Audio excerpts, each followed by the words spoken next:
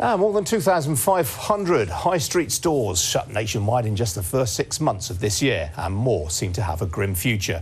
But now a UK-based company appear here seems to be reversing the trend by last year helping to open 4,000 new ones.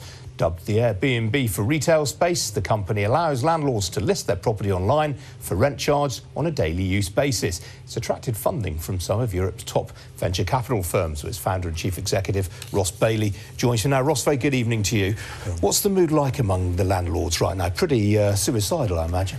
I think that you know the whole industry has changed, and I think there are huge structural shifts going on. I think landlords are of finally realizing and waking up to this not being just economic, that this is actually consumers are changing, the way people are renting space, the brands are changing, and that means that real estate has got to fundamentally shift the way it operates. So presumably they're quite happy doing a deal with you because I mean the alternative might be having a void period where there's no one in their stores at, I think at all. Completely. There's there's too many empty spaces. Landlords see this as a way of filling those empty spaces, but more than that, it's about giving access to hundreds of thousands of brands. And you know, everyone's talking right now about the death and the demise of the high street. But on Appear Here, we've got around 180,000 brands, retailers, and entrepreneurs looking for space.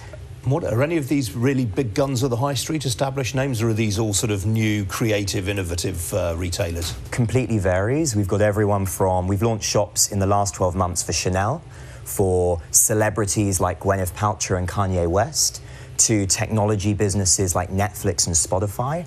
And then we've launched something like four and a half thousand stores. So you mentioned that I think 1,500 stores had closed. Four and a half thousand stores have launched through Appear here with small independents, from amazing florists to cool record stores to market stores across the country. But are there enough of these operators out there to uh, fill these empty spaces? I mean, at the moment you've got the likes of Debenhams, Marks and Spencer, House of Fraser all closing stores. I mean, there's going to be more space becoming available, isn't there?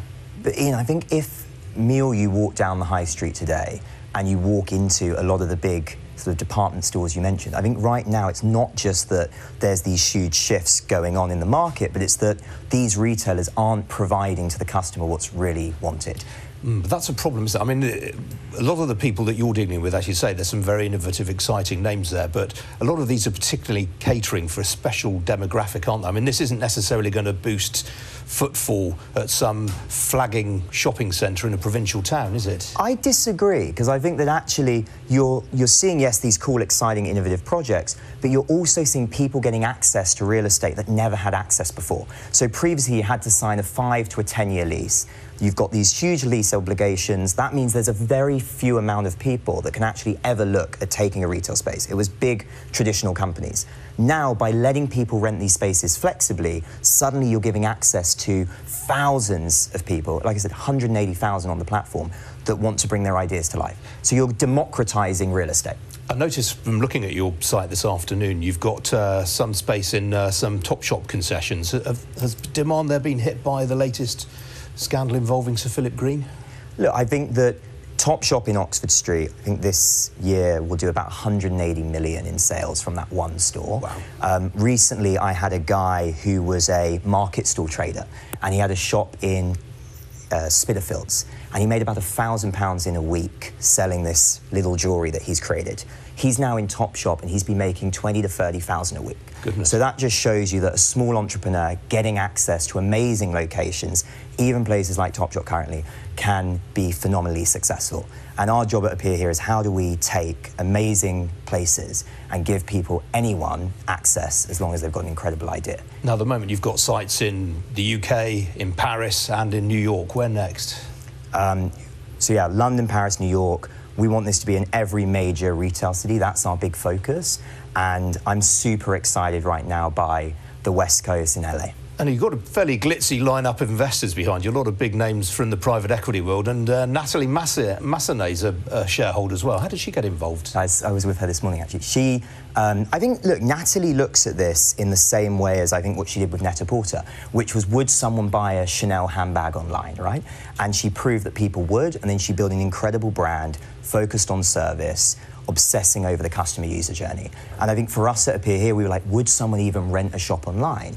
And not only are they doing that, but you're seeing so many people want to do this. And what we're now doing is going, how do we add incredible service, an incredible user journey, create a great brand, and change the way real estate's operated, which today hasn't been obsessed over service and hasn't been obsessed over giving anyone access. Very briefly, do you worry about the likes of JLL or any of the other big sort of property companies coming in and doing something similar? I think that you know, what we're focused on is how we build this incredible technology. And we've got an amazing data science team that we've hired from the West Coast. We're getting incredible information. And I think that helps us to continue to move faster than anyone else in the market. All right, Ross Bailey from Appear here. Good to see you. Thanks, thanks for joining me.